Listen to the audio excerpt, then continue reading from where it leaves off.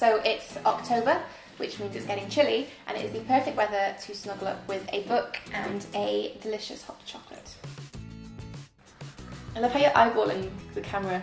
So we're going to talk through like our favourite books for this autumn. Lily, do you want to go first? So one of mine is A Sun is Also a Star, and it's by Nicola Yoon. She wrote Everything Everything, um, uh, and it's a book about a girl who's Jamaican and her family's being deported out of America, and she has one last day, um, and she meets Daniel, and they spend a day together, and she's into science and facts, and he's really emotional, and he's into the love Oh, that's in a big way. Will it make me cry?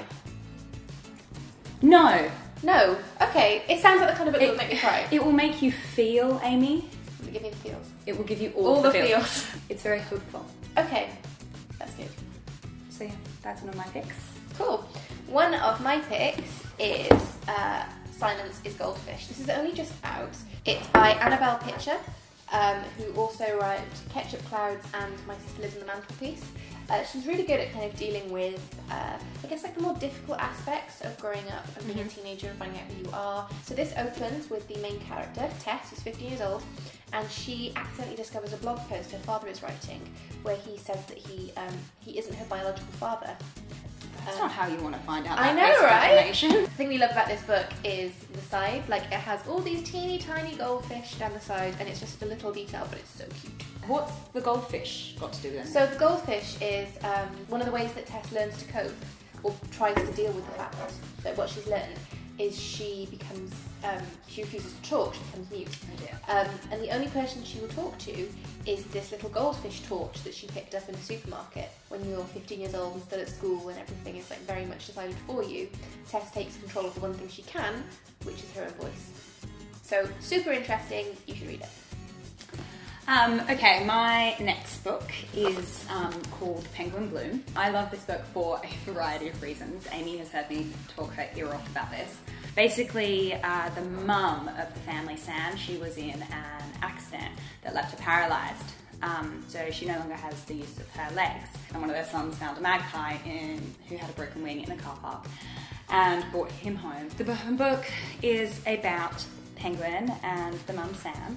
And so it's a really nice book about healing and how uh, Penguin's own struggles, so her broken wing, um, helped Sam with her recovery as well. Uh, so yeah, this would this is my other autumn read. Awesome. And the final book we're picking is Laura Bates, Girl Up. Love Laura Bates. You love Laura Bates. Love Laura Bates. Why do you love Laura Bates? Because she's my idol. She's just so cool and on it, and she gets it. She gets it. So Laura Bates is the founder of the Everyday Sexism Project. This book scandalously was banned from some libraries um, because of the uh, biological illustrations. But basically, By biological illustrations, she means dancing vulvas. We are all on board with dancing vulvas. she's talking about um, all the things that the expectations that girls have kind of put on them about they have to be beautiful and they have to be kind and they have to be made of sugar and spice and everything nice. Um, and she's saying that girls can be whatever the hell they want to be. Whatever they want. Um, uh, and it's a really great book. Uh, so yeah, they are our autumn reads.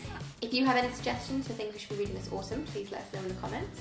Um, and subscribe to our channel so you can see more of our awesome videos.